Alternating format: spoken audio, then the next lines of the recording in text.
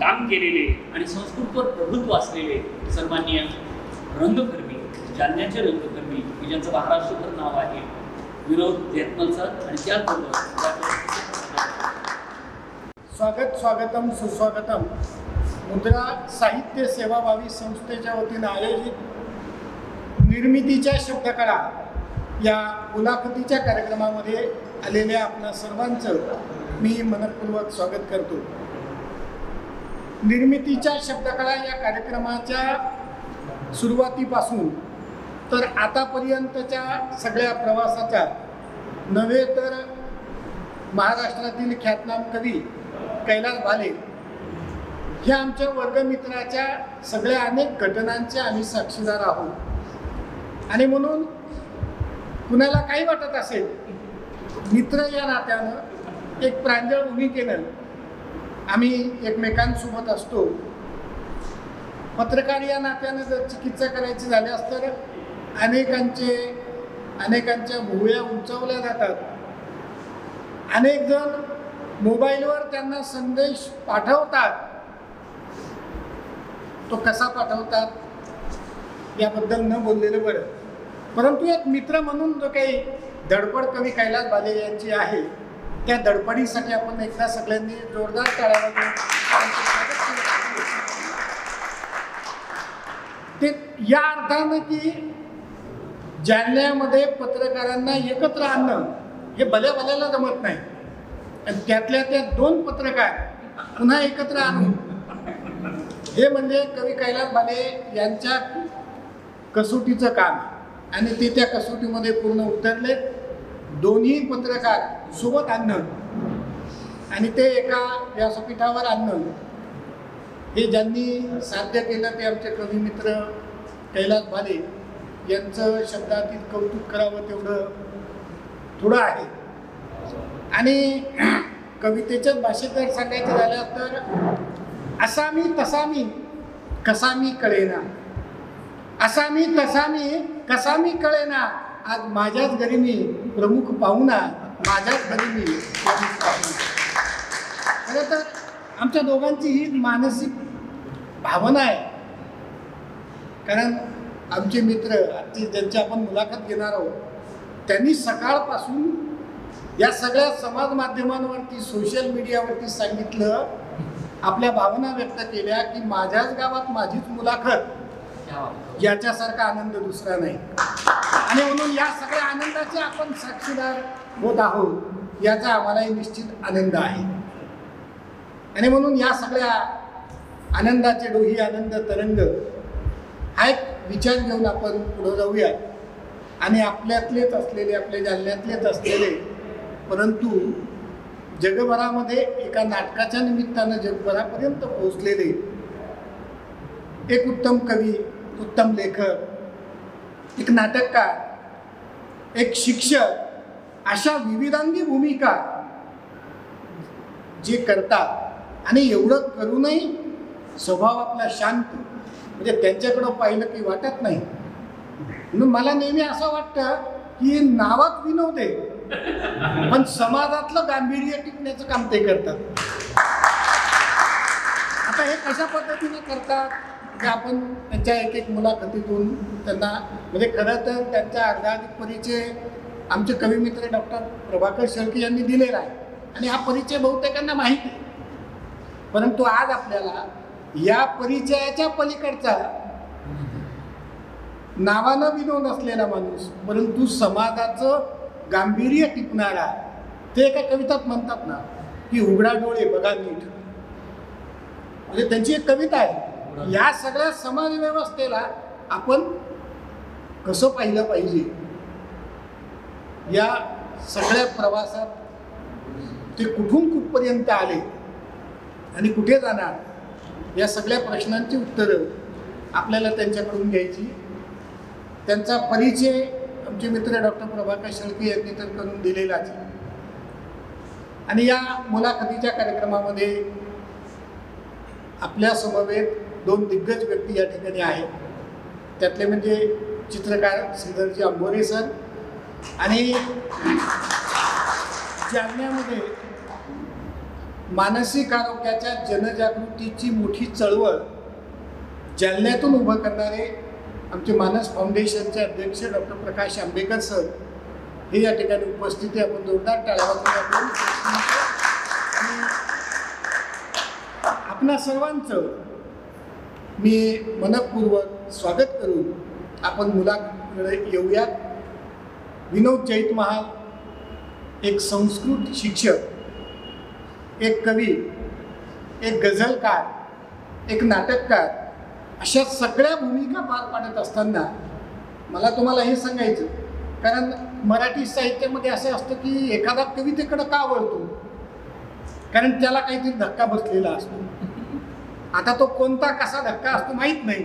कुणाला कसा धक्का बसून कोण कवितेकडे वळेल याचा काही नेम आपण सांगू शकत नाही. तर मला तुम्हालाच म्हणायचं की तुम्हाला असा कोणता धक्का बसला की तुम्ही एकदम कवितेकडे आले आणि मग कविता तुम्हाला सापडली. सर्वप्रथम मुद्रा साहित्य सेवा कैलास भाले आमचे मित्र आणि श्वासदार होते. आणि ज्या काळामध्ये कोणी कोणाचं ऐकून घेण्याच्या मनस्थितीत नाही तरी सुद्धा तुम्ही एवढ्या मोठ्या संख्येने इथे आलात. त्याबद्दल तुमचं मी तुमचे आभार मानतो. आणि धक्का म्हणाल तर दररोज धक्के बसतात माणसाला म्हणजे जर तुम्ही तुमचं मीटर जर चांगलं असेल ते मल्टीमीटर तर प्रत्येक घटना एक धक्का आहे. तुमचा काटा असा हलतोच.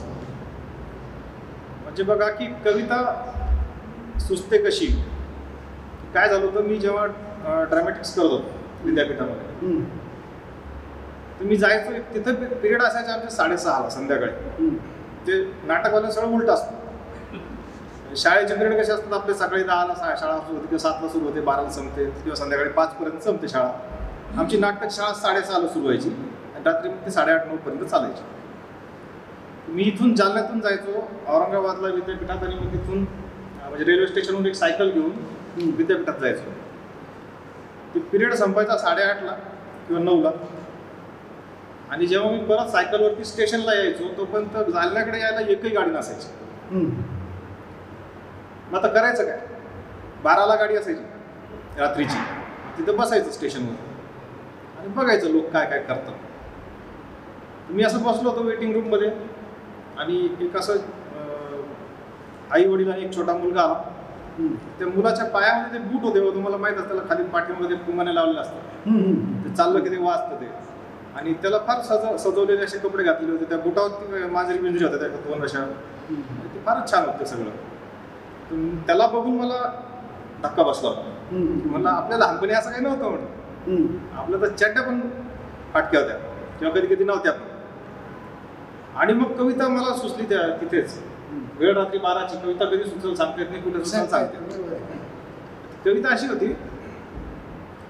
की आम्हाला नव्हते पुंगाण्या बसवलेले बुटांचे जोड. आम्हाला नव्हते पुंगाण्या बसवलेले बुटांचे जोड चकाकणाऱ्या आपोआप चालणाऱ्या प्लास्टिकच्या मोटारी इलास्टिकची धोत्र पहिल्या वाढदिवसाचं कौतुक आणि केक नव्हत्या वेगळ्या साबणी तेल आणि पावडरी. नव्हत्या वेगळ्या साबणी तेल आणि पावडरी नव्हता. आंघोळीला छोट टब आजीच्या मांड्या हीच आमची बातमी. क्या बात वा पडल्यावर उचलून घेणं नव्हतं. पडल्यावर उचलून घेणं नव्हतं रडल्यावर नव्हतं चॉकलेटचा आमिष उलट एखादा रट्टाच मिळण्याची शक्यता होती. पायांचा संबंध चपलेशी कमी मातीशी जास्त. पायांचा संबंध चपलेशी कमी मातीशी जास्त आणि कुत्रे मुतल्यासारख्या ओघळांशी तर घरोबा होता. आता आता हे पाय डुगडुगत नाहीत स्वतःच्या पायावर उभं राहायला. मागही सरत नाहीत पाण्यामध्ये वाहायला. क्या बात आहे. प्लास्टिकच्या बुटातले पाय मातीत कधी रुजत नाहीत त्या पायावर कुणाचं आयुष्यही उगवत नाही. क्या बात आहे. वा वा वा. बघा आता पहिली कविता कशी सुचली आणि या कवितेचा प्रवास कसा सुरू झाला? हे आमचे मित्र विनोद जेत महाल यांनी सांगितलं. खरं तर कविता का केव्हा कशी सुचते? हे कुणी सांगू शकत नाही कवी पण सांगू शकत नाही. आणि कवी असं म्हणतो की कविता एक आलाप असते कविता एक मिलाप असते. कविता एक आलाप असते कविता एक मिलाप असते. जन्म आणि मृत्यूमधील कविता फक्त धाप असते जन्म आणि मृत्यूमधील कविता फक्त दहा वा. अशी आपल्याला कवितेची व्याख्या करता येईल. आता पुढे जाऊन मला असं म्हणता येईल की तुम्ही कवितेचा प्रवास सुरू केला. अनेक संस्थांचे प्रेरणागीत लिहिले. आणि सकाळी सकाळी जालनेकरांना तुम्ही लिहिलेल्या गाण्याचा नाद आवाज शब्द ऐकू येतात. हे सगळं झालं. पण मला तुम्हाला एक प्रश्न आहे की तुमच्यासाठी ज्या सगळं तुमचं वेळापत्रक सांभाळतात ज्या तुमच्या पाठीशी आहे त्यांची कधी अपेक्षा होती का की माझ्यावरती एखादी कविता असावी म्हणून? अजिबात नाही उलट तिची अपेक्षा की कविता बिविता काही करू नका म्हणजे कविताच करू नका. निदान माझ्याकडे लक्ष द्याल तरी का तुम्हाला असं वाटलं नाही एखादी कविता त्यांच्यावरती व्हावी नाही ती स्वतःच एक कविता आहे त्याच्यामुळे.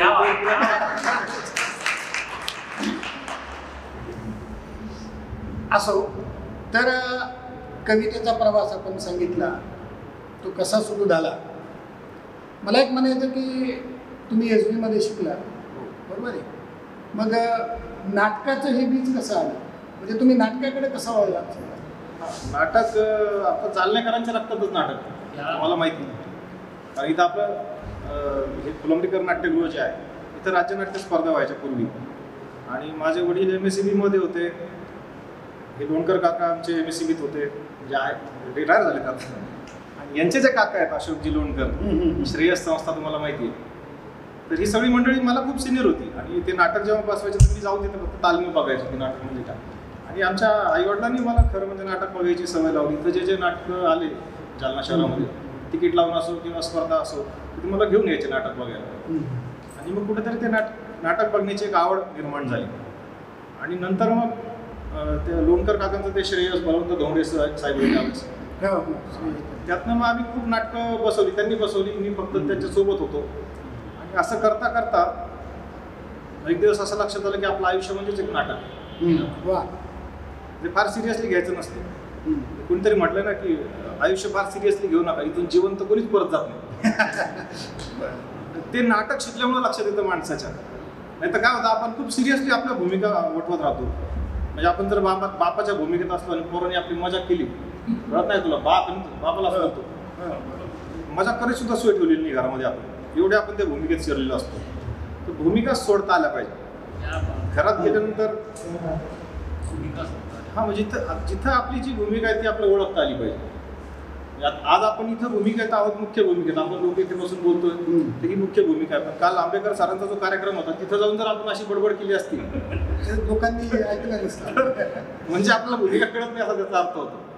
किंवा लग्नात सुद्धा तुम्ही बघा ना कशा भूमिका करतात लोक. तुम्हाला अनुभव आहे ना का? मुलीचं लग्न असलं आपण मुलीच्या बाजूचे असले आपण किती माजोरडे असू दे आपण कसे असतो असे असतो मुलीच्या मुलीच्या बाजूचे. सांभाळून घ्या. नाही? आणि आपल्याकडे नवरदेव असू दे आपल्याकडचं. मग. पाठ. आपण ऐकत राहतो मग कसल्या भूमिका आपल्या बदलतात? म्हणजे आज मुलाचं लग्न दुसऱ्या दिवशी मुलीचं लग्न असलं पटकन चेंज होतात लोक. तर हे जे आहे ना हे सगळं नाटक आहे. म्हणजे आयुष्याकडे नाटक म्हणून बघितलं पाहिजे. नाटक ही फारच मोठी गोष्ट आहे ती तुम्हाला जगायला शिकवते. जगण्यामध्ये तुमचं मानसिक संतुलन कसं राखावं हे तुम्हाला शिकवते. एखादा माणूस आपल्याला शिव्या घालतो ना याचा अर्थ त्याला आपली भूमिका कळलेली नाही आपण आपल्याला त्रास नाही करून घ्यायचा. मला असं बोलतो मी म्हणजे कोणी माहिती आहे त्याला. त्याला तुझी भूमिका कळलेली नाही आहे तुला तर माहिती आहे तुझी भूमिका. शांत राहा. तर हे सगळं जे नाटकातून मी शिकलो आणि मग एक दिवस वाटलं की याचं शास्त्रोक्त आपण प्रशिक्षण घेतलं पाहिजे. मग मी घेतलं ॲडमिशन विद्यापीठात. त्यावेळेस दुसरा ड्रामा डिपार्टमेंट नव्हतं. तुम्हाला वराड निघालं लंडनला हे नाटक माहीत असेल ना. ते लक्ष्मण देशपांडे जे नाट्यशास्त्राचे गुरु होते आम्ही तिथे वर्षभर शिकल्यानंतर त्यांनी डिपार्टमेंट सोडून दिलं. म्हणजे आम्ही कसे विद्यार्थी असो तुमच्या लक्षात. सोडून दिलं म्हणजे त्यांचे ते रिटायर झाल्यानंतर त्यांची शेवटची बॅच होती आमची. पण त्यांनी आम्हाला खूप शिकवलं रुस्तुमाचल काम आपले चालण्याचेच होते. हो. ते आमचे गुरु होते ते ला आम्हाला लावणी शिकवायचे वर्गामध्ये येऊन. आणि ते असे सा सरळ बोलत साधे बोलत नव्हते. शिवाय घालायचे. काय रे टाम काळ्या इतका उशिरा येत असते होय. सो मी जालन्यावर आलो जालन्यावर राहतोस का म्हणे तू "हा, मग यायचा म्हणे उशीर. असं चल काम भन्नाट माणूस होता. शशिकांत बराणपूर होते? असे सगळे दिग्गज शिक्षक त्या ड्रामा डिपार्टमेंटला आम्हाला भेटले. आणि त्यांनी आमच्याकडनं खूप काही करून घेतले महोत्सव. तर हे नाटक असं मग. एकदा कसं आहे नाटकाचं व्यसन असं आहे. आले अशा पद्धतीने. हा हे बरं आता तुम्ही भूमिकेचं म्हटलात. वेगवेगळ्या भूमिका तुमच्या भूमिका वेगवेगळ्या तुम्ही घरी असले की तुमची भूमिका वेगळी कवी म्हणून भूमिका वेगळी एक गझलकार म्हणून भूमिका वेगळी. पण तुमची एक भूमिका आम्हाला पाहायला मिळाली. शोला चौकातून तुम्ही काहीतरी लिहिलं होतं आणि जालनेकरांना फटकारलं होतं. तेव्हा तुमच्यातला पत्रकार आणि या पत्रकाराची भूमिका त्यावेळेस तुम्हाला कसं काय ते वाटलं? कारण रसिकांना लक्षात घ्या की आपल्याला माहिती आहे की जालन्यात शोला चौक म्हणून प्रसिद्ध आहे. आणि जालन्यामधल्या समस्यांबद्दल आम्ही पत्रकारांनी काय लिहावं किती लिहावं? आणि त्याचं पुन्हा राजकारणी लोकांनी किती मनावर घ्यावं हा एक संशोधनाचा विषय. मग एकदा विनोदजींनी लिहिलं होतं शोला चौकातून. मग जालना कसं सुधारलं? मग मेडिकल कॉलेज जालन्याला कसं आलं? जालन्याला जालन्याची सुधारणा कशी झाली? चकचकीत रस्ते कसे झाले? जालन्यात चोवीस तास पाणी कसं यायला लागलं? मग आता हे तुम्ही पत्रकाराच्या भूमिकेतून तेव्हा काय सुचलं तुम्हाला बरं? हे शोधा चौकातून काय भानगडे एकदा आपल्या रसिकांना सांगितलं तर बरं होईल. त्या दिवशी होतं धुलिवंदन ॲक्च्युली मागच्या वर्षीचं. धुलिवंदनाला एप्रिल पुन्हा कसं असतं? लोक थोडी मजा करतात एकमेकांची. तर शोला चौक जो आहे तिथे कवी संमेलन नेहमी होतात दरवर्षी. फार मोठी परंपरा आहे तिथे कवी संमेलन. हिंदी कवी संमेलनाची. तर अशी कल्पना केली की एक कवी तिथं कविता सादर करतोय. आणि तो जालन्याचं असं वर्णन करतोय सगळं की खूपच सुधारलंय जालना वगैरे. आणि त्याच्यात तो नेत्यांना टोलेबाजी करतोय. आणि मग सगळ्यात शेवटी काय होतं की त्या कवितेला कोणतरी कवीला त्या हलवून जागं करतं त्याला म्हणतं की तुमचं इंजेक्शन संपलं रेमेडी सिव्हिर चालू असतं कवीला. कोरोना झालेला असतं त्याला. आणि रेमेडी सिव्हिरचं असं वैशिष्ट्य आहे की त्याचे डोस जेव्हा जातात तेव्हा माणसाला भ्रम व्हायला लागतात काही काही तसा त्या कवीला भ्रम झाला असतो. जालना खूप सुधारला वगैरे. मी घेतलं रेमेडी सिव्हिर त्याला त्याच्यामुळे मला माहिती आहे असा त्याचा शेवट केला होता. त्यातलं एक उदाहरण नाही आता मला ते फारसं आठवत नाही अचानक तिच्यातला एक संदर्भ असा होता की जालन्याला मेडिकल कॉलेज मंजूर झालं आणि तिथं मेडिकलचं शिक्षण चांगल्या पद्धतीनं लोक घ्यायला लागले. तर तर या त्यांच्या मिस्किल लेखनाला एक टीकात्मक होतं परखड होतं विनोदी तर होतच होतं. परंतु याला समाज माध्यमांवरती इतका प्रचंड प्रतिसाद त्यावेळेस मिळालेला होता. की महाराष्ट्रभर जालन्यातल्या या समस्यांबद्दल लोकांनी बाहेर चिंतन केलं. म्हणजे पत्रकाराची लेखणी कशी असते त्यांची भूमिका कशी असते तो एक प्रसंग यांच्या त्या लेखनातून येतो. सध्या विनोदजी आधुनिक केसरी नावाच्या दैनिकामध्ये वेब पोर्टलच्या दैनिकामध्ये काम करतात. प्रत्येक शब्दांचा अर्थ काय असतो हे अत्यंत विस्तृतपणे सांगतात. आता बऱ्याचदा काय होतं की आपण शब्द उच्चारतो पण त्याचा अर्थ आपल्याला माहीत नसतो. आणि अलीकडं काय झालं की या दोन वर्षांमध्ये आपलं आपण एवढे वेगवेगळे शब्द ऐकायला लागलो की आता हे लहान मुलं विसरायला लागले की हे मराठीतले शब्द आहेत का काय? म्हणजे दोन वर्षामध्ये आपण लॉकडाऊन शब्द क्वारंटाईन शब्द रेमडेसिवीर शब्द काय वेगवेगळे शब्द आपण सगळे स्वीकारले? आणि म्हणून शब्दांची ताकद काय असते? शब्दांचा अर्थ आपण काय समजून घेतला पाहिजे? त्याचं लेखन आहे. आपण जरी आधुनिक केसरी या वेब दैनिकामध्ये जर पाहिलं असेल तर विनोदजी जेतमल यांचं लिखाण आहे. त्याचबरोबरीने एक सशक्त कवी तर आहेच आहे. मला एक तुम्हाला विचारायचं की तुम्ही कविता करता करता गझला किंवा उर्दू भाषेकडे कसं वळलात? म्हणजे उर्दू भाषेचाही तुमचा प्रचंड अभ्यास आहे. म्हणजे खरं तर आपण लक्षात घ्या मराठी असेल हिंदी भाषा असेल उर्दू असेल आणि पुन्हा संस्कृतचे शिक्षक या सगळ्या प्रवासात उर्दू भाषा आपण कशी जपली तो एक अनुभव आम्हाला सांगा. खरं म्हणजे मराठी माणसाने ना ह्या दोन भाषा आधी शिकायला पाहिजे संस्कृत आणि उर्दू.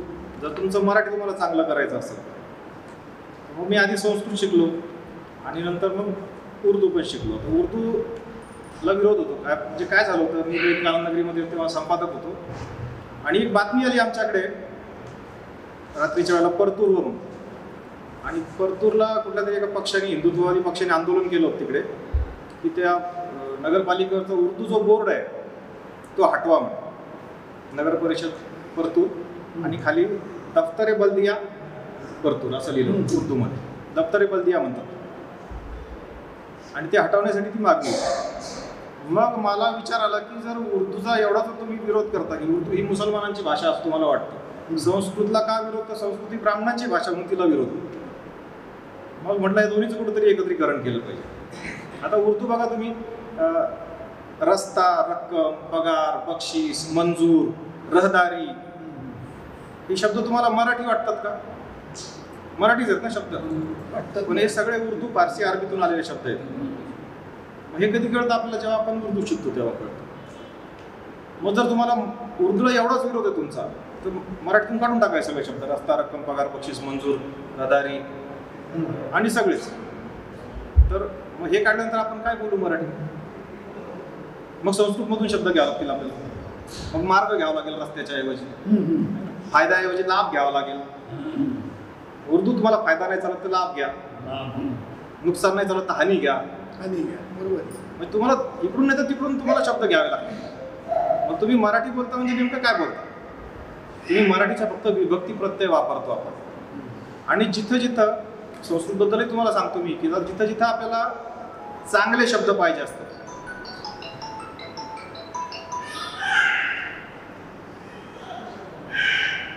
झालं का? ब्रेक के बाद. त्याची तर बंद करा. जिथं जिथं आपल्याला आपल्या आयुष्यामध्ये चांगले शब्द पाहिजे असतात तिथं तिथं आपण संस्कृतचा आधार घेतो. आता एस टी महामंडळाला आपण काय म्हणतो बरं मराठीमध्ये? काय लिहिलेलं असतं तिकडे एस टी महामंडळाच्या बस स्टँडवर काय लिहिलेलं असतं? राज्य परिवहन महामंडळ. लिहिलेलं असतं. आता परिवहन शब्द कुठून आला? संस्कृतमधून आला. परी हा उपसर्ग आहे. वहन म्हणजे वाहून नेणे.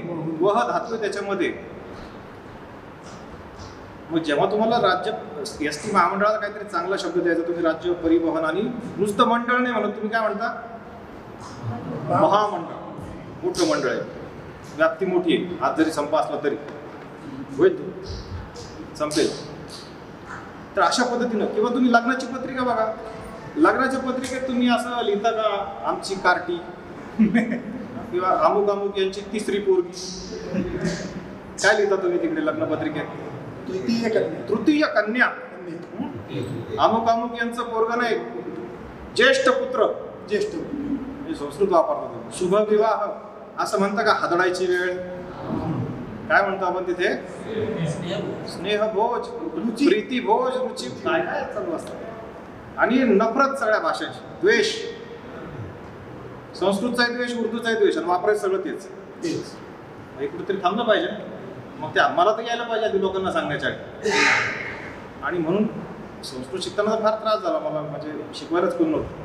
पण इथल्या अनेक संस्कृत शिक्षकांना मी त्रास देऊन ते शिकलो. उर्दू मी शिकलो माझ्या मित्राकडून एक मुसलमान मित्र होता. मुसलमान मित्र असणं हे आपल्याकडे फार रेअर गोष्ट आहे. तुमच्यापैकी किती लोकांना मुसलमान मित्र आहेत मला माहिती पण आमचा एक मित्र आहे मजर मजरुद्दीन सिद्दीकी म्हणून इकडे. सिटी मेडिकल त्याचा आहे तिकडे मोती मस्जिद जवळ आणि हा माणूस इतका त्याचा इतका वेगळा वेगळा विचार आहे.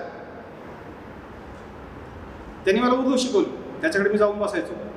पण रिकाम्या गप्पा काय माराय त्याच्याकडे बसून? त्याला म्हणलं तुम्हाला उर्दू शिकू मग त्यांनी लिपी शिकवायला सुरुवात केली मला ती लिपीनंतर त्याच्याकडे पेपर यायचा एक रायबार नावाचा. तो पेपर मग त्याच्यासमोर रायबार. आपले अं, शम्स साहेब वाटायचे. साहेब हो उर्दू टाइम्स औरंगाबाद टाइम्स यायचं त्याच्याकडे रविवारी यायचं. ते पेपर मी त्याच्यासमोर बसून वाचायचो. मग त्या माझ्या चुका काढायचा. आणि मग मला अनेक बारकावे कळले उर्दूमधले की कुठे नुकता लावायचा कुठे नाही लावायचा. आपण खरीब करीब नसतं खरीब असतं कानून असतं. आणि उर्दूमध्ये आपण बिलकुल म्हणतो. लिहिताना ते बालकुल लिहितं बालकुल. लिहायचं बिलकुल म्हणायचं. इंग्रजीसारखं थोडंफार. हे बारकावे मला तिथं उर्दूचे त्याचे त्याच्याकडनं कळले. आणि त्यांनी त्याच्याशी मी जेव्हा चर्चा करायचो ना तर मग भगवद्गीतेमधली काही वचनं असतील. तर त्याची जेव्हा चर्चा व्हायची तर तो काय म्हणायचा? की भगवद्गीतेमधली वचनं असो किंवा पुराणामधली वचनं असो तर दोन्हीची भाषा एकच आहे म्हणे. या जगाच्या निर्मात्याची ती भाषा आहे. त्याच्यामध्ये दोन्ही एकच आहे तर भाषा वेगळ्या आहेत. एक अरबीमध्ये एक संस्कृतमध्ये. म्हणजे असा विचार एक मुसलमान करतोय. पुन्हा त्याच्याकडे काही एक दिवस काय झालं? त्याच्याकडे काही त्याचे मुसलमान मित्र आले. हा जो आमचा मजरुद्दीन सिद्दीकी आहे, हा काही रोज नमाज पडायला जात नाही. हा फक्त शुक्रवारी जातो नमाज पड नमाज पडायला. आणि त्याचे जे मित्र ते रोज जातात. जाऊन आले की याला येऊन सांग आम्ही मगरीब पड के आया बोले म्हणजे इम्प्रेशन मात्र मी नमाज पडून आलो. मग त्याचा झाला एक दिवस वाद. काय म्हटला तुम्ही रोज नमाज पडणं गरजेचं नाहीये. तुम्ही चांगलं वागणं गरजेचं आहे. नमाज त्याच्यासाठी तुम्ही चांगलं वागत नसाल आणि तुम्ही पाच वेळेस नमाज पडत असाल काही उपयोग नाही त्याचा. पण मी एकच वेळेस पडतो शुक्रवारी पडतो पण मी बाकीचे दिवस सुद्धा चांगलं वागतो नाही असं काही नाही. आज नमाज पडली आज चांगलं वागू असं. तर असा तो मित्र आहे. आणि त्याच्याकडनं उर्दू शिकल्यानंतर मग मी ती पुस्तकं पहिलीची दुसरीची तिसरीची पाचवीची अशी ती मागवली. त्याच्यातल्या गोष्टी वाचायला लागलो. आणि जेव्हा आपण उर्दू पुस्तक वाचतो ते आपल्या मराठीच्या पुस्तकासारख्या कुठला धार्मिक द्वेष वगैरे कारण अभ्यास मंडळ तेच असतं. तर असं काही नाही आहे तर हा जो सामाजिक सलोख आहे तो ह्या दोन भाषांमुळे वाढेल. मराठी माणसाने संस्कृत पण शिकलं पाहिजे त्रास होईल थोडासा. बाकी नाहीतरी करतो काय आपण आयुष्यामध्ये? आणि उर्दू पण शिकलं पाहिजे. मग कळेल की मराठी समृद्ध का झाली? तर मराठी लवचिक. मराठी काय करते? कुठूनही भाषा कुठलाही शब्द येऊ चांगला असला घेऊन टाकते. हा, आपल्याकडे टेबल इंग्रजी शब्द आहे लगेच मराठीने टेबलावर टेबला खाली आणि टेबला खालून ते सुरू केलं नाही का आपण? स्वीकारलं आपण ते असं छान? आपण एकदा जोरदार टाळा त्यांच्यावर.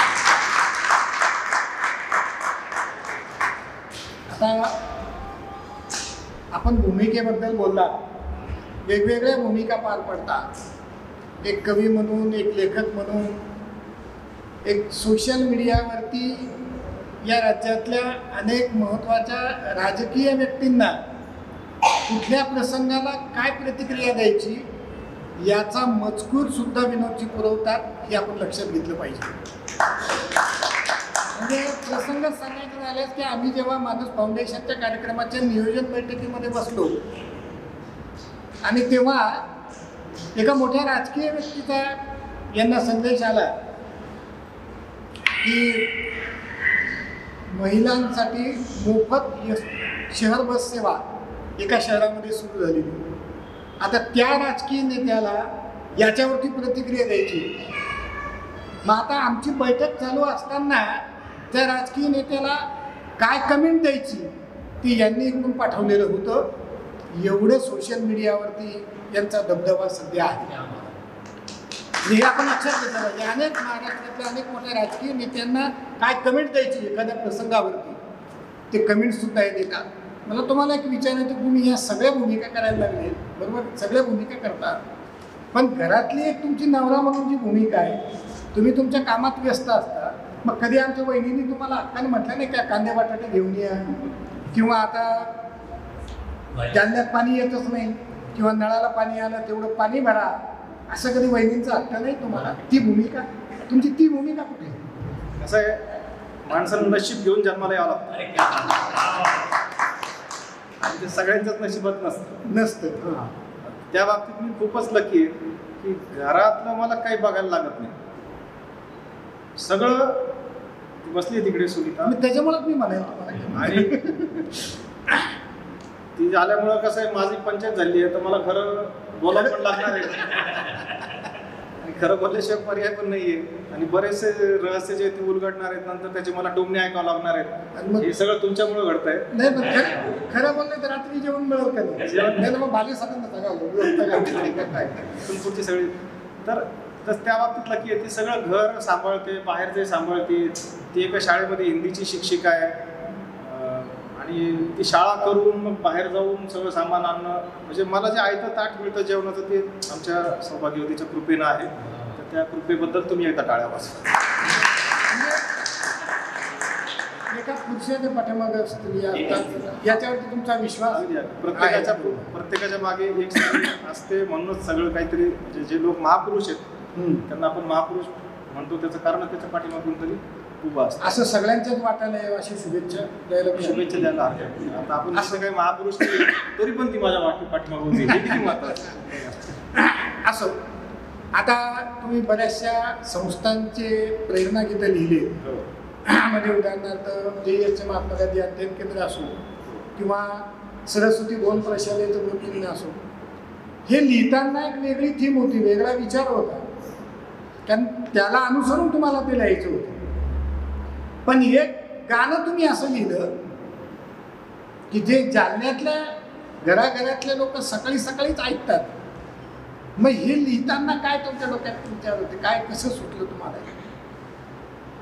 एक तर त्याच्या गाडीचं गाणं टीका लागला आहे पूर्ण. आपल्याकडे दोन वर्ष लॉकडाऊन होतं. पहिली पहिली जी लाट होती त्यावेळेस मला सुनील भाईंचा फोन आला. सुनील भाई रायखट्टा आपले उद्योजक. जालन्यातले फार मोठा माणूस सगळ्यांना प्रेरणा देणारा. बोले विनोदजी अपने को एक गीत लिखना है बोले अभी जो कोविड में जो डॉक्टर लोग काम कर रहे हैं मेहनत कर रहे हैं उनको अपने को इन्स्पिरेशन देना है. असं ते थांबून थांबून बोलतो मग आपल्याला शांत राहावं लागतं त्यांचे पॉज फार मोठे मोठे असतात अटल बिहारींचा. म्हटलं ठीक आहे लिहूया म्हटलं तुम्हाला काय अपेक्षित आहे? म्हणे त्यांना आपल्याला फक्त प्रणाम करायचा आहे.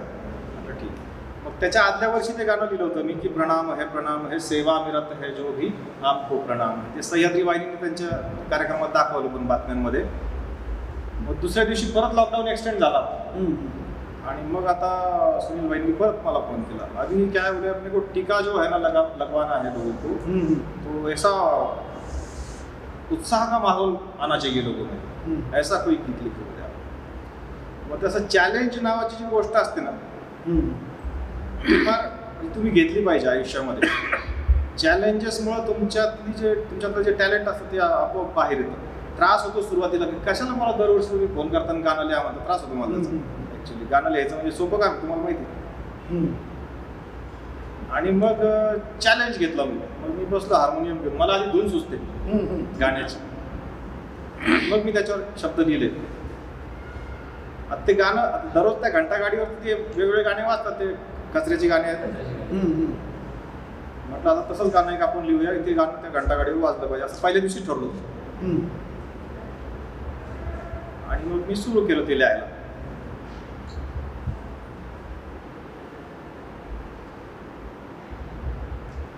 दूर दूर रहेंगे और मास्क हम लगाएंगे. दूर दूर रहेंगे और मास्क हम लगाएँगे। रक्षा की ढाल को मज़बूत हम बनाएँगे। दवा असरदार है, ज़रूर लेने जाएँगे। टीका लगवाएँगे, कोरोना भगाएँगे, टीका लगवाएँगे पुढचे शब्द तुम्ही बारकाईनं ऐका, दोन संस्कृतीचा मेळ घातलेला आहे मी त्याच्यामध्ये.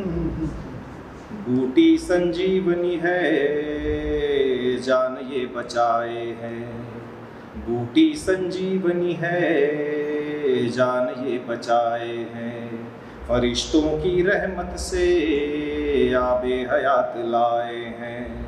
वक्त ना गवाएँगे, हाथ हम बढ़ाएँगे। वक्त ना गवाएँगे, हाथ हम बढ़ाएँगे। ज़िंदगी के आशिक है, मौत को झुकाएँगे. दवा असरदार है जरूर लेने जाएंगे। टीका लगवाएंगे कोरोना भगाएंगे टीका लगवाएंगे कोरोना भगाएंगे।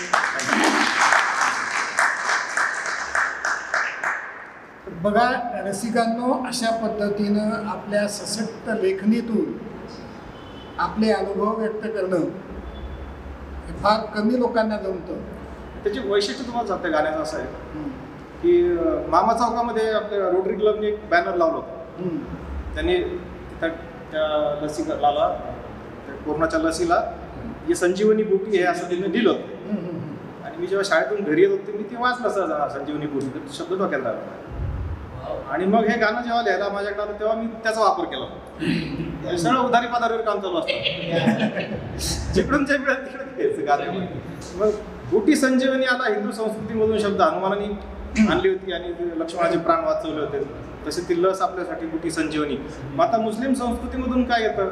आबे हयात येतं आबे हयात. आबे हयात. हयात म्हणजे आयुष्य. आणि आब म्हणजे पाणी. आयुष्य देणारं जे पाणी आहे म्हणजे आपल्याकडे जसं अमृत ही संकल्पना आहे तशी मुस्लिम संस्कृतीमध्ये आबे हयात ही संकल्पना आहे. किंवा आबे जमजम. जमजम म्हणजे एक झरा आहे. झरा. नावाचा. हयात नावाचा एक झरा. त्या झऱ्याचं पाणी म्हणजे आबे हयात. आणि मग ते दोन्ही एकत्र केलं. मग ते सुनील भाई म्हटले मला की अरे वो आबे हयात. समजेगा क्या बोले लोगों को क्या रहता बोले. मतलब जैसा इधर अमृत रहता उधर उधर आबे हयात रहता. आणि आपली इच्छा अशी नाही की फक्त हिंदू लोकांनी लस घ्यावी. सगळ्यांनीच. घ्या. सगळ्यांनीच घ्यावी. आणि ह्या दोन मोठ्या संस्कृती भारतामध्ये बाकी आहेत सगळेच. म्हणून ते तसं केलं. त्यांना म्हणलं तुम्ही राहू द्या ते शब्द नाहीच कळा तर मग शेवटी काढून टाकू. द्वारा कधी फेमस झाला?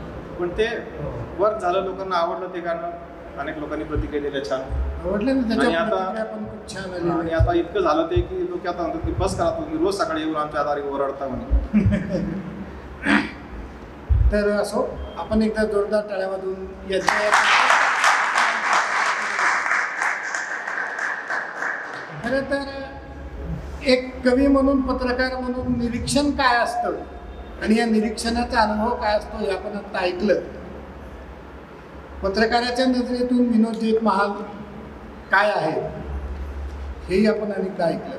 त्यांची कविता पण अशाच समाजातल्या वास्तवावर परखड चित्रण करणारी कविता ती उघडा डोळे बघा नीट. म्हणजे मराठी कवितेमध्ये सुद्धा त्यांनी फार समाजाच्या अनेक घटकांचं निरीक्षण केलेलं आहे. मला तुम्हाला म्हणायचं की आपले कविता संग्रहाकडे वाटचाल नाही असं काही महत्वाकांक्षा नाही की कविता संग्रह आपला आला पाहिजे वगैरे. असे आपल्या मुबलक प्रचुर किती कविता लिहिली जाते आपल्याकडे मराठीमध्ये. आणि एवढ्या कविता दररोज एवढ्या कविता संग्रह छापले जातात ते कोणी वाचत नाही. त्यात आणखी पुन्हा माझी भर कशाला? म्हणून मी आपलं शांतपणे कविता लिहिणं हे सगळ्यात मोठं काम आहे. नाही पण कविता संग्रह आला पाहिजे सगळ्यांचा. हा. आम्ही तर वाचू की म्हणत नाही कोणी वाचलं. तुम्ही काढलं. त्याचा खर्च तुम्हाला माहिती तो आणि जसं तुम्ही मला आता आज बोलवलं इथं मुलाखतीला तर मी काही स्वतःहून माझी मुलाखत अरेंज करू शकत नाही किंवा करत नाही करणारही नाही तसं कोणी जर मला म्हटलं की तुमची कविता छापतो. मग मी त्याला देईन माझ्या कविता लोकांनी केलं पाहिजे ना आपण पण खर्च करायचा चालेल म्हणजे आता आंबेडकर सरांनी काल प्रोग्राम घेतला एवढा मोठा मानस हम्म. फाउंडेशनचा. तर मी काही चाळीस हजार खर्चून डॉक्युमेंटरी नसती बनवली ना. सगळे पैसे त्यांनी लावले डॉक्युमेंटरी नाव माझं तसं ते दुसऱ्याच्या पैशांनी कामं करतो मी तुम्ही ज्या इतक्या वेळचा ज्या ज्या कवितेचा तुम्ही उल्लेख करताय उघडा डागडोळे बघा नीट. बघा नीट. एकदा दा- ती कविता- डोळे उघडून दाखवा लोकांना ती कविता फार फेमस आहे ती कविता. आणि सर नेहमी तिचा उल्लेख करतात. हो त्याची एक पार्श्वभूमी तुम्हाला सांगतो मी आधी त्या कवितेची. बाराखडी नावाची कविता आहे. हम्म, हम्म. पुण्यावरनं एक बातमी आली होती की एक अतिशय उच्च शिक्षित वकील मुलगी होती. आणि ती रात्री पार्टीला गेली. प्रचंड दारू पिली. आणि त्या नशेत तिने कारनी अनेक लोकांना रात्री ठोकलं. तुम्ही वाचली असेल ती बातमी? घरी जाताना. आणि त्याच्यानंतर तिने पोलिसांशी आरेरावी केली. गाडीच्या बाहेर ती आली नाही. तिला बळजबरी कसं तरी महिला पोलिसांनी पकडून नेलं. त्याच्यावर तिचा जामीन मिळवण्याचा प्रयत्न वगैरे होता. खूप म्हणजे ॲरोगंट ती मुलगी होती. मग माया मनात आलं की याच्यासाठी सावित्रीबाईंनी संघर्ष केला होता का या मुलींनी इतकं शिकावं उद्धट व्हावं दारू प्यावी हे आपलं लक्ष होतं का? मग ती कविता मी लिहिली. आणि एकंदरीतच महिला वर्गाविषयी ज्या सुशिक्षित आहेत तरी सुद्धा त्यांच्यातली अंधश्रद्धा अजून जात नाही. म्हणजे तुम्हाला उदाहरण सांगतो मी एक छोटंसं. तुम्हाला सांगितलंय मी कालच. की एका गावातली एक सुशिक्षित मुलगी आहे जालना जिल्ह्यातली आहे. उपास करावा एखादा करावा आठवड्यातून. चाळीस चाळीस दिवस तीस तीस दिवस उपवास करून त्या मुलीचे व्हिटॅमिन्स प्रोटीन्स इतके कमी झाले की तिचे कमरेपासून पायच गेले खालचे. मग याला आपण सुशिक्षित म्हणावं का. म्हणून त्या महिलांसाठी मी ती कविता लिहिली होती. ती कविता बाराखडी अशी आहे. आपण अ आ ई शिकतो ना तशी ती बाराखडी.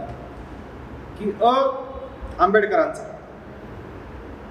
ज ज्योतिबांचा. अ आंबेडकरांचा ज ज्योतिबांचा स सत्याचा द ज्ञानाचा विसरून भलतीच बाराखडी शिकू लागल्या सावित्रीच्या लेखी. अ अंधश्रद्धेचा. ज ज्योतिषाचा. श शनिदेवाचा आणि द दर्शनाचा हट्ट धरू लागल्या सावित्रीच्या लेखी. मध्ये आंदोलन केलं होतं दर्शनासाठी. शिकून घरादाराला पुढं नेणारी बाई असते. शिकून घरादाराला पुढं नेणारी बाई असते. मुलांचा पहिला गुरु म्हणे आई असते. आजकाल मात्र तिलाच भोंदू गुरुदर्शनाची घाई असते. न नवयुगाचा उ ऊर्जेचा आणि भ भरारीचा सोडून भलतीच बाराखडी मिरवू लागल्या सावित्रीच्या लेखी न नवसाचा उ उपासाचा आणि भ भ्रष्टाचाराचा धडाई फिरवू लागल्या सावित्रीच्या महिला अधिकारी असतील तुम्ही भ्रष्टाचार करताना? हो. त्यांच्याकडून तरी अपेक्षा नाही पाहिजे खांद्याला खांदा लावून चालताना पावलं वाकडी पडत आहेत. खांद्याला खांदा लावून चालताना पावलं वाकडी पडत आहेत. खूप खूप शिकल्यावर खूप खूप दारू पिल्याने जीव घेणे अपघात घडत आहेत. आणि लग्नाआधीच एकत्र राहून पश्चातापाने रडत आहेत सावित्रीच्या लेखी. लिव्हिंगचं बघा तुम्ही प्रमाण किती. त्याच्यानंतर पश्चाताप पण खूप आहे. ही गती प्रगती की अधोगती कशाचा कशाला मेळ नाही? ही गती प्रगती की अधोगती कशाचा कशाला मेळ नाही? उघडा डोळे बघा नीट. परिवर्तन म्हणजे पोरखेळ नाही. परिवर्तन म्हणजे पोरखेळ. बघा रसिकांनो म्हणजे आपल्या लेखणीतून परिवर्तनाची नवी भाषा विनोदजी जेतमहाल देतात. आणि परिवर्तनाची ही भाषा जालन्यातून जगभर पोहोचते कवितेच्या माध्यमातून. आणि असंच कविता असो गझल असो याचबरोबर नाटकाच्या माध्यमातून जगापर्यंत जाण्याचा जो प्रवास विनोदजी यांचा आहे तोही खूप अभिमानास्पद आहे. खरं तर आपल्या जालनेकरांसाठी आपल्याला माहिती आहे की जाम समर्थ या भूमीतून असं एक नाटक जन्माला आलं. आणि ज्या नाटकाने जगापर्यंत पोहोचत एक वेगळा विचार दिला ते नाटक म्हणजे शिवाजी अंडरग्राऊंड इन भीमनगर मोहल्ला. आता या नाटकाबद्दल काय सांगावं? अनेकांनी ते पाहिलं जालन्यातही त्याचे प्रयोग झाले होते. आपण घरी गेलं की युट्यूबवर सर्च केलं की आपल्याला सगळं लक्षात येईल. पण तो अशा जगाच्या सोशल मीडियापर्यंत पोहोचलेलं वैचारिक त्यांना समाजाची जाण आहे. अशा लोकांपर्यंत ते नाटक पोहोचलेलं अशा नाटकामध्ये आपल्याला भूमिका करायला मिळते. मुळात जालन्याची आहे म्हणून नाही तर आपल्या अभिनयाचा कुठेतरी कस लागलेला आहे. आणि या नाटकात आपण ते भूमिका करता तर मिलिंद कांबळे या भूमिकेबद्दल आणि या नाटकाने तुम्हाला काय दिलं? हा एक अनुभव आम्हाला सांगितला तर बरं.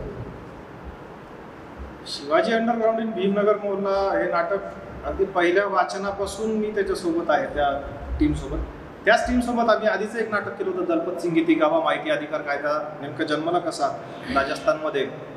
त्या त्या गोष्टीवरती आधारित होता. आपल्याला माहिती आहे माहितीचा अधिकार कायदा म्हणजे आपला अण्णा हजारे आठवतात. अरुण रॉय हे नाव आठवतं का आपल्याला? नाही आठवत. मूळ त्यांचा लढा आहे. राजस्थानमधल्या देवडुंगरी नावाचं गाव आहे. तिथं जेव्हा त्यांनी रोजगार हमी योजनेच्या लोकांसोबत काम करायला सुरुवात केली तेव्हा त्यांच्या लक्षात आलं की यांच्या नावाने पैसे उचलले जातात. किंवा मेलेल्या लोकांच्या नावाने सुद्धा पैसे उचलले जातात. मस्टरमध्ये नावं टाकून. आणि सरकारी अधिकाऱ्यांना जेव्हा माहिती विचारली जाते तेव्हा ते काय म्हणतात की ऑफिशियल सिक्रेट्स ॲक्ट आहे इंग्रजांच्या काळातला एकोणीसशे अठ्ठावीसचा. त्याच्यामुळे माहिती देता येत नाही. आणि मग अरुणा राय ह्या कलेक्टर दर्जाच्या बाई होत्या. नोकरी सोडून त्यांनी ते काम सुरू केलं होतं. त्यांनी तो लढा सुरू केला की माहिती मिळत का नाही? आपला अधिकार आहे माहिती. सरकारची माहिती आपल्याला मिळाली पाहिजे. म्हणजे कलेक्टर म्हणजे राजा नसतो. तो कोण असतो? आपला सेवक आहे. तर ही समज त्या बाईने तिथे निर्माण केली. तिथून तो लढा सुरू झाला. नंतर मग अण्णा हजारे मग अरविंद केजरीवाल आणि सगळे लोक त्याच्याशी जोडले गेले. तर ते नाटक सुद्धा आम्ही केलं होतं त्याच टीमने आधी दलपत सिंग इथे गावा. तर ते नाटक जवळपास आम्ही सहा महिने तालमी केल्या त्याच्या. ते नाटक सुद्धा असंच लिहित लिहित पूर्ण केलं. अतुल पेठे जेव्हा चालण्यामध्ये आले नाटकाचा एकही शब्द लिहिलेला नव्हता. तिथून पुढे आम्ही ते लिहायला सुरुवात केली. पत्रकार बनवून त्याच्या तालमी केल्या. पण तालमीची वेळ काय होती? आमची सकाळी सात ते रात्री सात. त्याच्यानंतर मग मी दैनिकात काम करायला जायचो. रात्री एक वाजेपर्यंत काम करायचो. मग घरी यायचो. पुन्हा सहाला सकाळी उठायचो. पुन्हा सातला तालमी सुरू करायच्या बारा तास तालीम चालायची आमची. त्याच्यावर चर्चा व्हायच्या. गाणी लिहिली जायची. त्यातली गाणी पण मी लिहिली जायची. चार पाच गाणी पण लिहिली होती. आणि त्या त्या नाटकाचे मग आम्ही प्रयोग केले महाराष्ट्रामध्ये कर्नाटकामध्ये निपाणीला आणि केरळच्या नाट्य महोत्सवामध्ये केलं. राष्ट्रीय नाट्य महोत्सवात आम्हाला आमंत्रण होतं. टागोर थिएटरमध्ये. केरळ ही मल्याळमची भूमी आहे. आणि तिथे रवींद्रनाथ टागोर या बंगाली नावाच्या बंगाली माणसाच्या नावाने थिएटर असणं ही भारतीय एकात्मता आहे. आणि तिथं मराठी नाटक होत आहे. आणि तिथं आम्हाला एक सुखद असा धक्का बसला की नाटक संपल्यानंतर जे लोक आम्हाला भेटायला आले आम्हाला वाटलं कोणीच येणार नाही सगळे मल्याळम ते मराठीत बोलायला लागले आमच्याशी चक्क. केरळमध्ये मग त्यांना विचारलं आम्ही की कसं काय तर ते म्हणजे आम्ही महाराष्ट्रातले म्हणे मुळातले पण इकडे आलो आणि इकडच्याच मुलींशी आम्ही लग्न केलं. आणि मग त्यांनी काय केलं बायकोला मराठी शिकवली बायकोने त्यांना मल्याळम शिकवली. मग दोघंही आता एकमेकाचं ऐकत नाही तर असा तो अनुभव होता. आणि मग त्याच्यानंतर मग हे शिवाजी अंडरग्राऊंडची प्रोसेस सुरू झाली. त्याच्यात आम्ही पहिल्या दिवशीपासून मी सहभागी होतोच. बंधू माधव त्याच्यानंतर डिरेक्ट करायला आले. त्यांना ते नाटकाची थीम आवडली. पण काय झालं की शिवाजी महाराजांचा इतिहास त्याच्यानी दोन समाज निवळ एकमेकांशी भांडतोय. थीम काय आहे की इतिहासावर भांडण्यात काही प्रॉब म्हणजे पॉईंट नाही आहे वर्तमानाचं भविष्याचं काय करायचं? तो महत्त्वाचा मुद्दा आहे ना. आता इतिहासावरून तुम्ही आम्ही किती भांडलो त्याला काय अर्थ आहे? सोशल मीडियावर तुम्ही बघत असाल एखाद्याने पोस्ट टाकावं फक्त एक. त्याच्यावर प्रचंड वादविवाद सुरू होतो. आमच्या नाटकाची थीमच अशी होती की खरा शिवाजी आम्ही सांगतो पण द्वेष पसरवू नका शिवाजीच्या नावाखाली. शिवाजीने माणसं जोडायचं काम केलं. तुम्ही तोडायचं काम नका करू शिवाजीच्या नावाखाली. अशी ती थीम होती त्याच्यातही संभाजी भगतांनी प्रचंड गाणी वगैरे लिहिली. आणि जेव्हा मिलिंद कांबळेची भूमिका माझ्याकडे आली अचानकच एक दिवस येऊन तो बॉम्ब आदळला माझ्यावरती. तुम्हाला आता हे करायचं आहे आता मी त्या तालमी इतक्या वर्ष बघत होतो पण मला असं वाटलं की आपल्याला एक दिवस करावं लागेल. कशाला कोण पाठ करल ते? मग त्या मिलिंद कांबळेला गाणे आहेत त्याच्यामध्ये त्याला परफॉर्म करायचं आहे त्याला डायलॉग पण आहेत सगळंच आहे त्यात. ते सहा दिवसात करायचं. प्रोफेशनल शो पुण्यामध्ये. मग आता कसं आहे की चॅलेंज पुन्हा चॅलेंज मी जे म्हटलं तुम्हाला की आव्हान एकदा स्वीकारलं की मग पूर्णपणे त्याच्यात बुडाला पाहिजे. मग रात्रंदिवस मी तो ऑडिओ मागून घेतला नाटकाचा. आणि ते रात्रंदिवस मी ऐकायला लागलो. मला झोपेत पण ऐकायचं मला झोपच यायची नाही. रात्रभर ते संवाद आणि ते गाणी माझ्या डोक्यात वाजायची. सकाळी उठलं की परत ते सुरू. मग दररोज परतूरला जायचं तिथं तालमी करायच्या परत घरी यायचं परत ते असं सहा दिवस सतत केलं. आणि ते गाण्यांचे जे तुम्हाला माहिती ताल सुटला की गाणं सुटतं. तिथं प्रयोगाला आम्ही गेलो. इथे आम्ही जेव्हा तालमी करत होतो तो पेटीवाला नाही तबला म्हणजे ढोलकीवाला नाही काहीच नाही. नुसतं गाणं म्हणायचं असं. तिथं गेल्यानंतर त्यांना आलं टेन्शन त्या वादकांना. अहो सर आप- एक पण तालीम झाली नाही म्हणजे कसं करायचं? तुम्ही वाजवायचं काम करा मी गायचं काम करतो. सोडत नाही ताल. आणि मग तसं ते सुरू केलं नाटक आम्ही मी ऐकत ऐकल्यामुळं काय झालं की मला माहीत होतं कुठं गाणं उचलायचं कुठं थांबवायचं. ते सगळं संपलं ते. नाटक किमान चार तालमी वादकांसोबत व्हाव्या लागतात. चार. रंगीत तालमी. मग नट उभा राहतो म्हणजे स्टेजवरती. त्या नाटकाने मला काय दिली हिंमत की आपण हे करू शकतो. पुण्यात करू शकतो. पुण्यात करू शकतो म्हणजे जगात कुठे करू शकतो? ही हिंमत जी आहे ना जेव्हा आपण चॅलेंज स्वीकारतो तेव्हा आपल्याला कळतं की आपली ताकद काय म्हणजे मी जर नाट्यशास्त्र शिकायला गेलो नसतो किंवा नाटकाच्या ग्रुप सोबत राहिलो नसतो तर मला सांगा व्यावसायिक नाटक तुम्हाला मिळणं तिकीट लावून लोकांनी त्याला येणं पाचशे रुपये तिकीट होतं त्यावेळेस. लॉकडाऊन असल्यामुळे एक खुर्ची सोडून तिकीट असायचं तर डबल तिकीट केलं होतं त्यांनी. तरी लोक हाऊसफुल तिथं नाटक होतं पुण्याच्या बाल बालगंधर्वमध्ये. आणि तुम्हाला कोण संधी देतं जालन्यात बसून? बालगंधर्वला प्रोफेशनल शो करा गडकरी रंगातला प्रोफेशनल शो करा. तर हे मला नाटक दिलं ओळख दिली आणि तुम्ही माझी मुलाखत का घेताय? ही सगळी ओळख जान्हवीकरांना या सगळ्या गोष्टीचा अभिमान आहे. आणि म्हणून बाले सरांच्या लक्षात आलं की नाही आता चला याही पलीकडे तुम्हाला पुढं अजून जायचं म्हणून त्याच्यासाठी कदाचित मला कधीच हा घाट असेल. पुढं अजून तुमचं काहीतरी वेगळं भविष्य असेल असं आपण चिंतूया. याही पेक्षा पुढे यश. विनोदजी जयतमल यांना मिळवून आपण जोरदार मला- स्वागत करूया. मला तो प्रश्न विचारला पाहिजे तुम्ही एवढे धंदे केले आयुष्यामध्ये. असं का केलं तुम्ही? हे पाणी पण आता हे सगळं तुम्ही करत आलात बरोबर आहे? संस्कृतचे शिक्षक म्हणून आहात कविताही करता गझल लिहिता नाटकही लिहिता नाटकात वेगवेगळी आव्हानं स्वीकारता.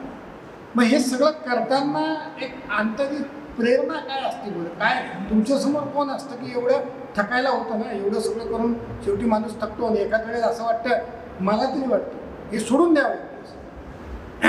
कारण पत्रकारिता हा असा व्यवसाय आहे की हा याला इतकं सावधान आणि अलर्ट राहावं लागतं की केव्हा काय होईल. तुम्हाला अनुभव आहे जवळपास रसिकांनो तुमच्या सगळ्या शुभेच्छांमुळं आमच्या दोघांचा जवळपास तीस वर्षाचा प्रवास त्याच्याही पुढं पत्रकारितेचा दोघांचा आहे.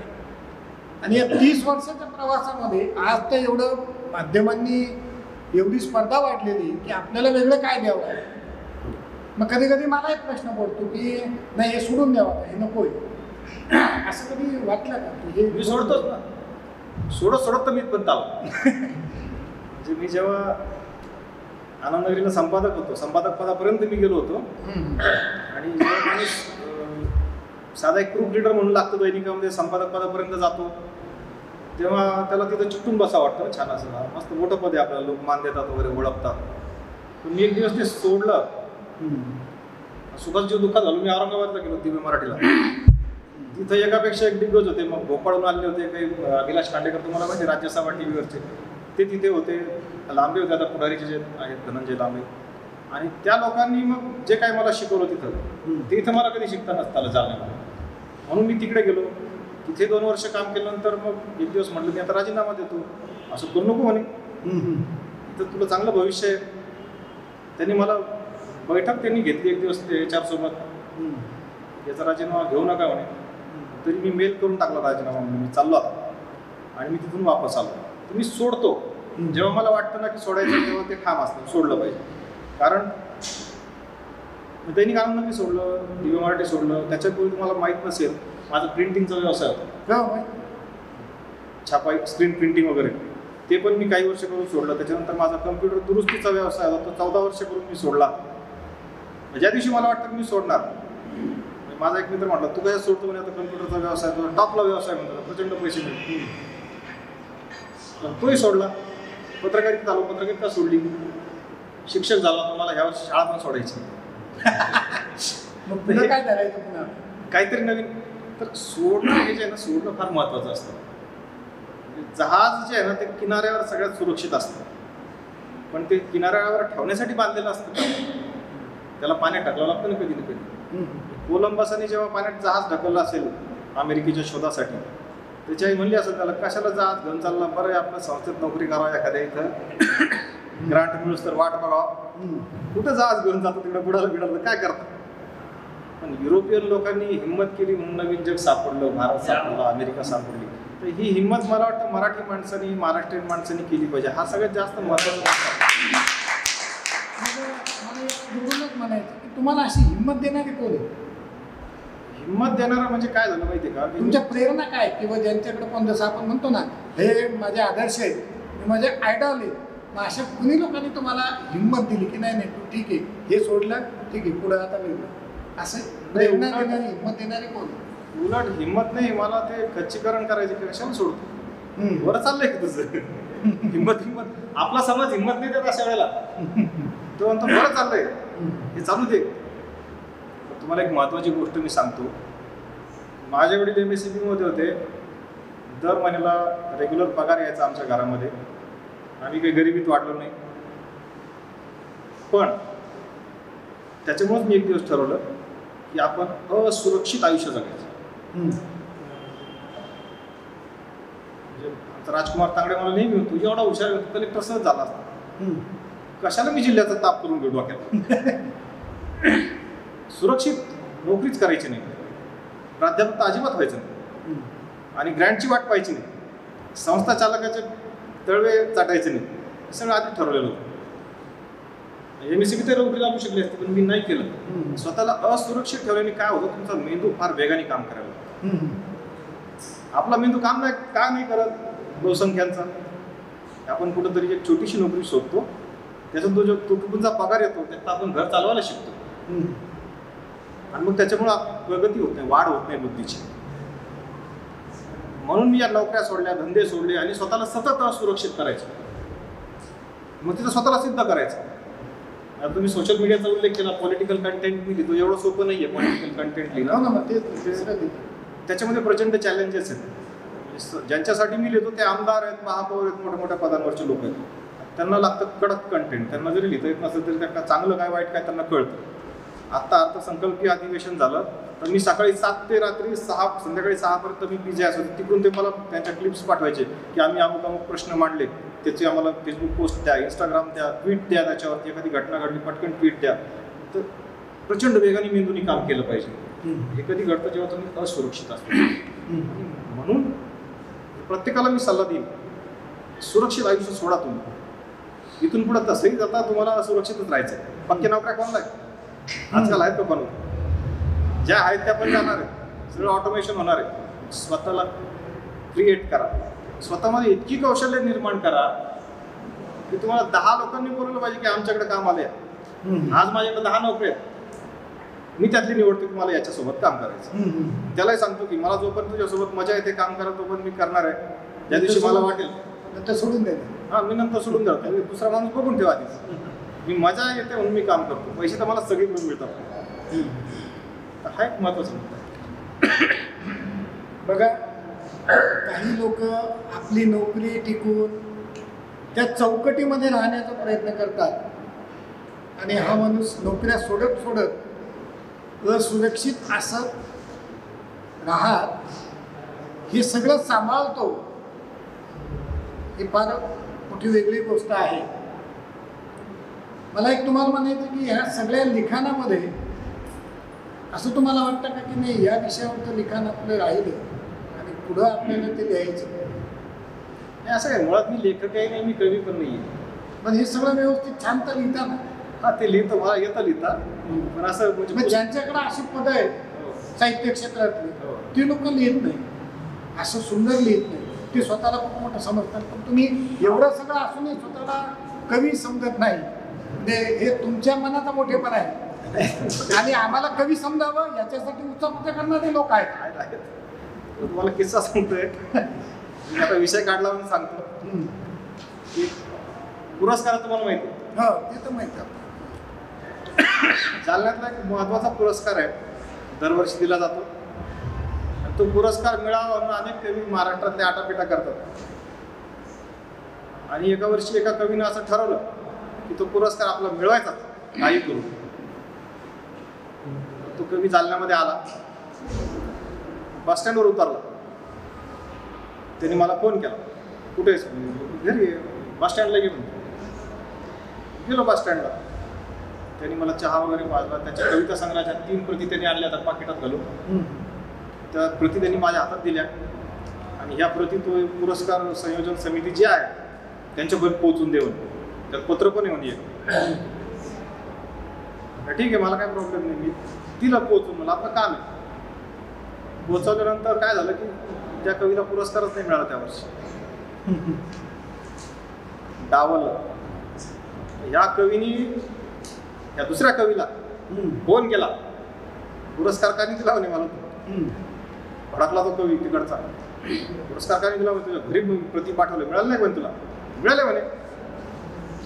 काय कमी आहे म्हणे त्याच्यामध्ये? अरे म्हणजे आमची पुरस्काराची कमिटी आहे ना म्हणे ती ठरवायला कोणाला पुरस्कार द्यायचा कोणाला नाही. तुझ्यापेक्षा कोणतरी चांगला मिळाला त्याला तिला पुरस्कार. हा कवी त्याच्यावर त्याला म्हणतो तुला ठोकून काढीन म्हणजे जर कवी एकमेकाला ठोकून काढणार असतील ते कवी न झालेलं बरं ना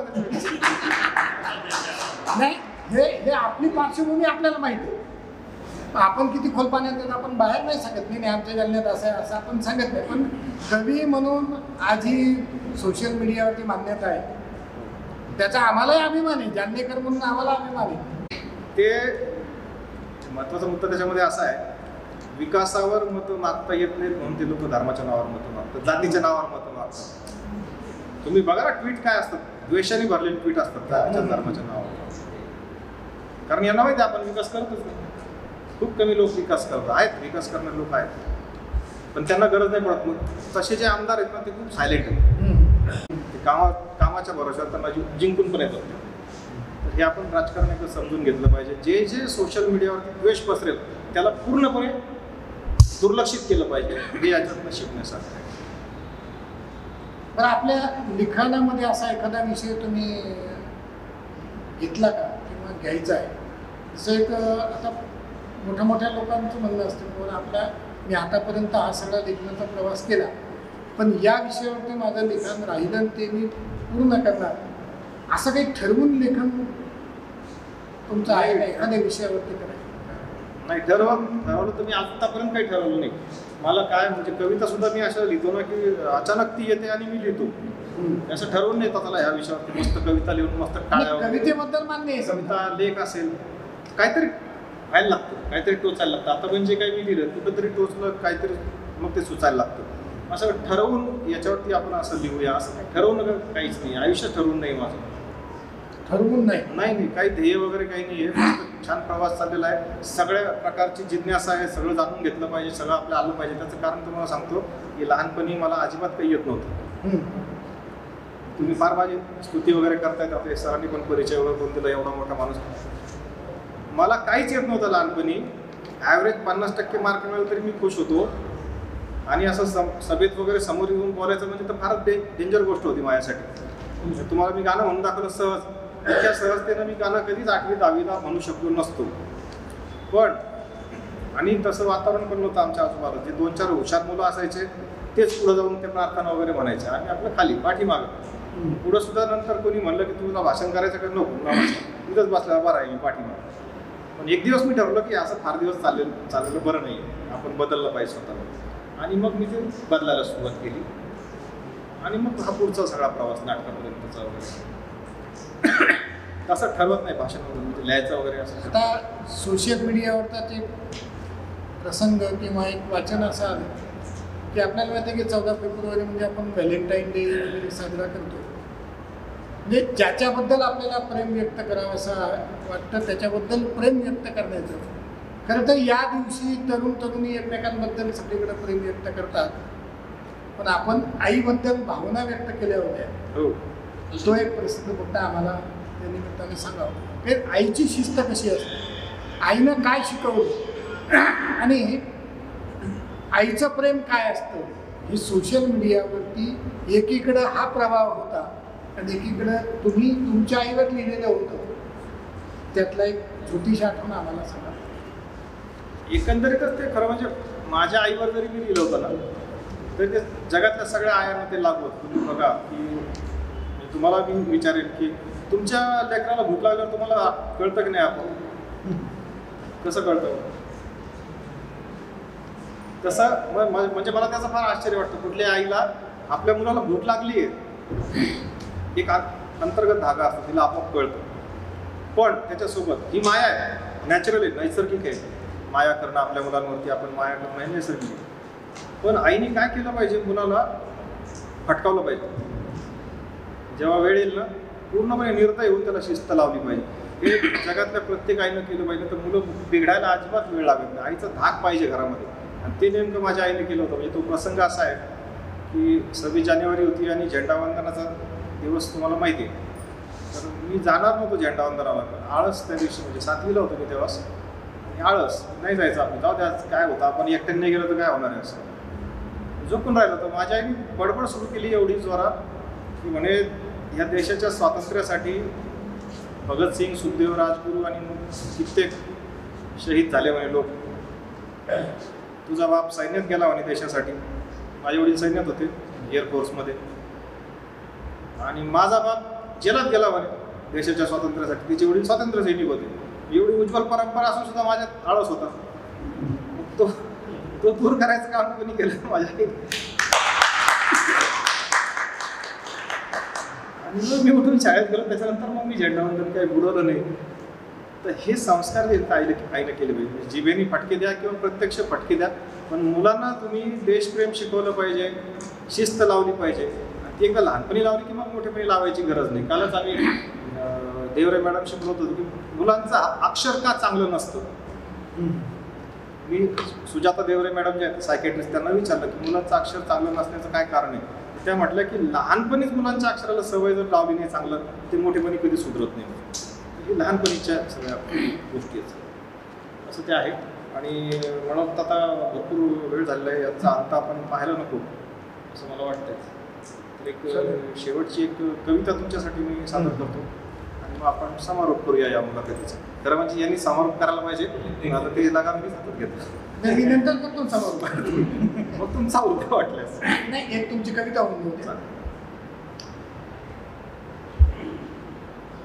ही कविता जी आहे बंदी नावाची.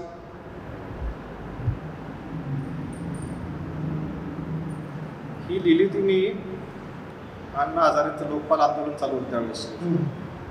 तरुण भारतच्या दिवाळी अंकामध्ये छापून आली त्याच्यानंतर दासू वैद्यांनी त्याच कवितेवर लिहून आणलं होतं. छापली पण होती आणि लिहिलं पण होतं. काय संपला का हा, करून घे बदलू. करू सुरू?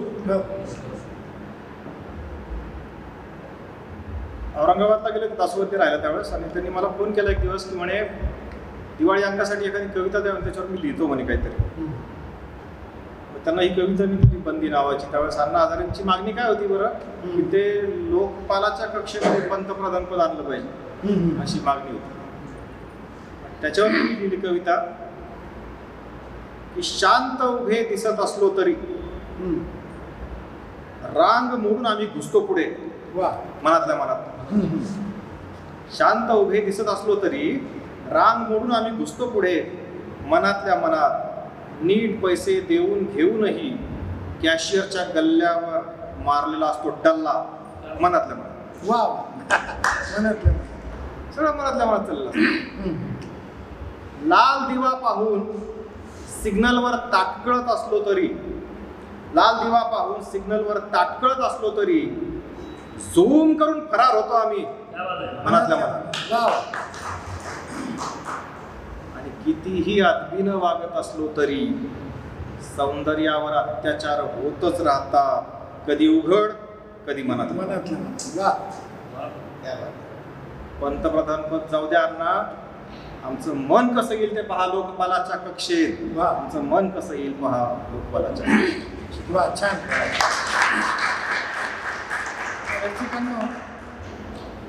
मानस फाउंडेशनच्या कार्यक्रम पत्रिकेचा स्लोगन. आपल्याच मनाचा तळ शोधण्यासाठी यां लेखन विनोदजी जैतमहाल यांचंच त्यांच्याच मनाचा तळ आपण या ठिकाणी शोधण्याचा प्रयत्न या मुलाखतीच्या निमित्तानं केला. खरं तर दीड तासापासून आपण जाणकार दर्दी रसिक दर्दी जालनेकर आपण दीड तासापासून विनोदजी जे महाल यांना ऐकत आहात. थोडंसं वेळेची मर्यादा म्हणता येणार नाही पण आपण या ठिकाणी थांबूया. दोन पत्रकारांना एकत्र आणण्याचं काम आमचे कवी मित्र कैलास भाले यांनी केलं. आणि विनोदी जयपाल यांचा थोडक्यात का होईना हा लेखन प्रवास आपल्या सर्वांनी तो त्यांच्यातून ऐकला. आणि मला असं वाटतं की निर्मितीच्या शब्दकळा या कार्यक्रमाची उंची आजच्या मुलाखतीनं अजून उंच गेलेली आहे. आणि याहीपेक्षा अधिक उंचीवरती हा कार्यक्रम जावं अशा आपल्या सर्वांच्या वतीनं आपण या निमित्तानं शुभेच्छा व्यक्त करूया. तर आम्हा दोन पत्रकारांना एकत्र आणण्याचं काम मुलाखतीच्या निमित्तानं आपण केलं. तेव्हा आम्हा दोघांच्या वतीनं आम्ही संयोजन समितीचे मनपूर्वक या ठिकाणी आभार मानतो आणि हा मुलाखतीचा कार्यक्रम आपल्या सर्वांच्या साक्षीनं आपण